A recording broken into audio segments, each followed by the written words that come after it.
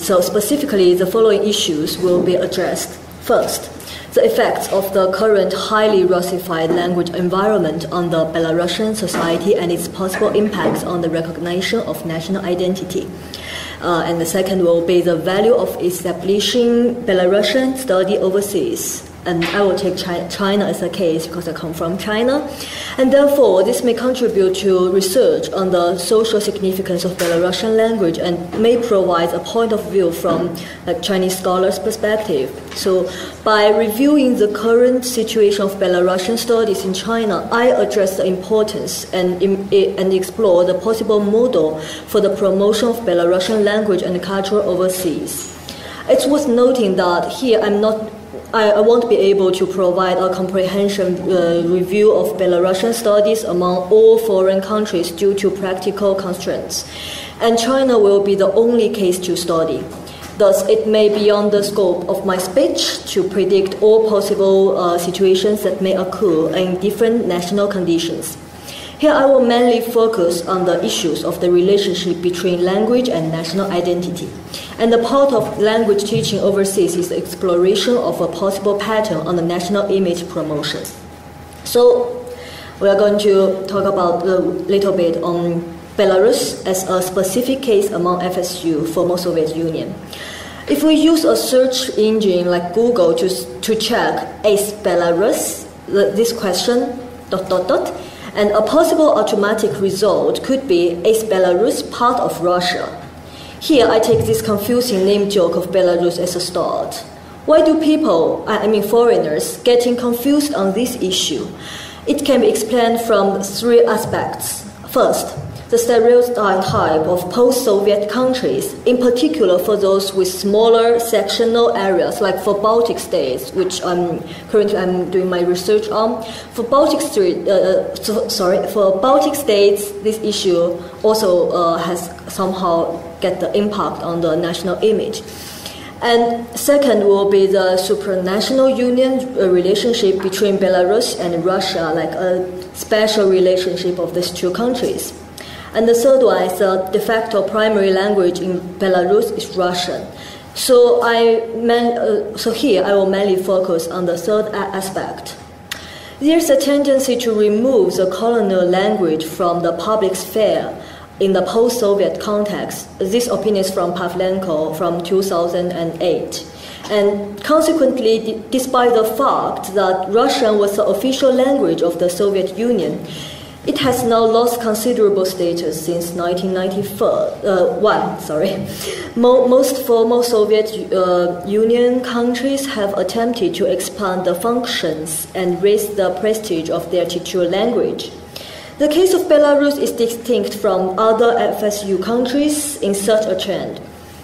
Belarus is the only one among 15 post Soviet countries which recognize two official languages at the same time while also admitting the higher status of Russian via its native language. So, after the collapse of USSR, uh, Belarus had a short period of recognizing Belarusian as the only official language until the referendum in 1995. This can be seen as one of the means of desovietization procedure, which makes an Im- impact on the recognition of Belarusian national identity. And rebuild the concept of nation is considerably important for a newly independent country, and the influence of language cannot be overlooked. As Baycroft argues, um, in 1998, so it's kind of old li- literature, but he argues that sharing of real or perceived characteristics, for example, language is one of those characteristics, is an important way to build a nation and make people obtain the sense of belonging. So during the Soviet era, let, us go back to the Soviet times, the promotion of Russian language among republic is one of the effective ways to construct the identity of Soviet citizen. This can be reversed, like to cancel the um, dominant status of Russian language for the deconstruction of the Soviet identity. However, this desovietization process in Belarus did not go well comparing with other FSU countries like Estonia, Latvia. So first of all, there's a problem for Belarusians to make a highly demand, um, the language proficiency of Belarusian language. That means um, it, it makes the linguistic Belarusification process become um, very complicated to a certain extent. According to a report I've uh, I searched from Belarus Digest in 2011, only 2% of ch- children in Minsk attend a Belarusian speaking school, and only 19% of pupils are taught in Belarusian in the whole country.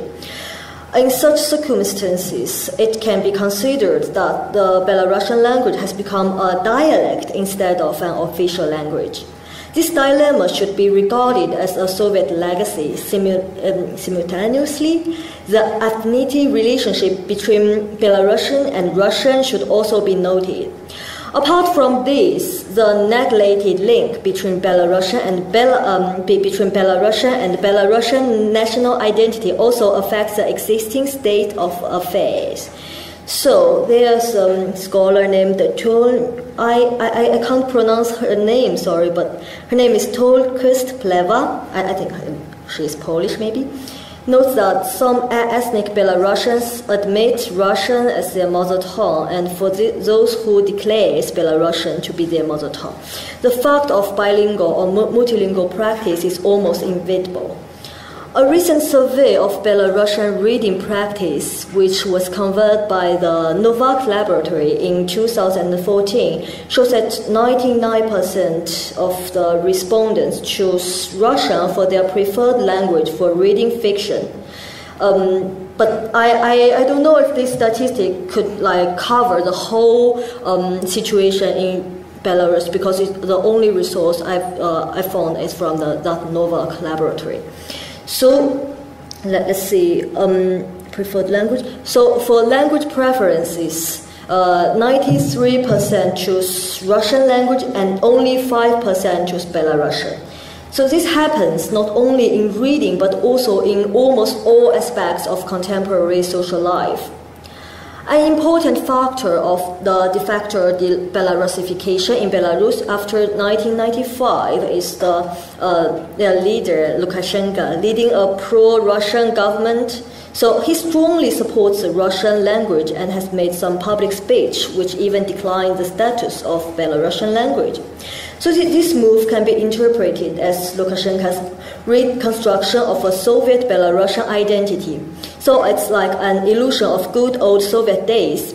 Nevertheless, promoting the Russian language may enhance the exclusively good relation with Russia, but under the premise that Russia is not the um, Soviet Union anymore. So whether this approach will bring advantages in a long run is worth of further discussion.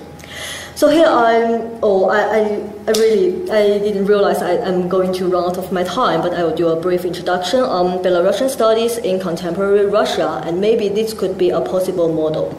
So in April 2016, the first study program of Belarusian language and culture in China has been launched at the Beijing International Studies University. Prior to this, a Belarusian teaching and research section has already existed at East China Normal University in Shanghai. Considering the huge sum of funding which BISU has got from the government of Beijing, this is a political task from the local government in the actual fact.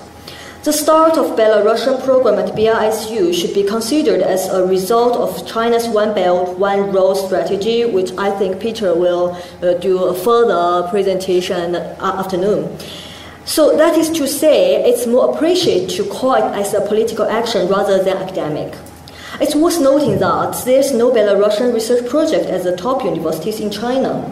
At Beijing Foreign Studies University, the leading institution of foreign language teaching and research in, China, uh, in Chinese academia, the only two programs in School of Russian Studies are Russian and Ukrainian.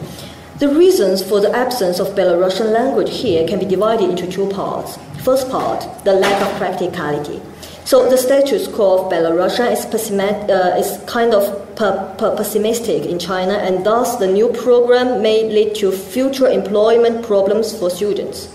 And second, it will be a problem of lack of teachers and teaching materials. So many Belarusians, including teachers required to teach in Belarusian, had considerably uh, difficulties using the Belarusian language, not to mention the lack of Chinese teachers in this area.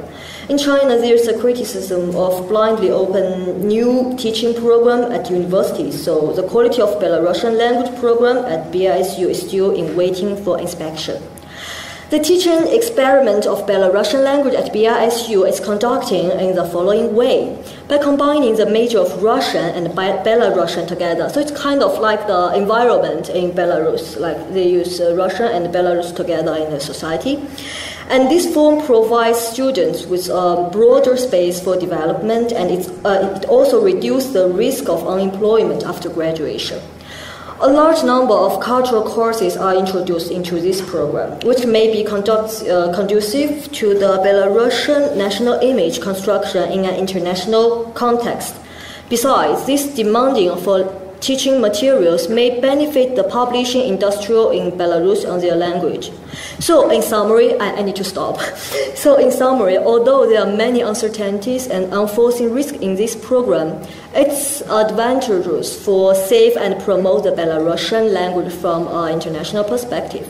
The teaching mode of Russian plus Belarusian or English plus Belarusian can be explored in the future, but the possibility of ignorance on Belarusian part should be noticed as well. Thank you very much.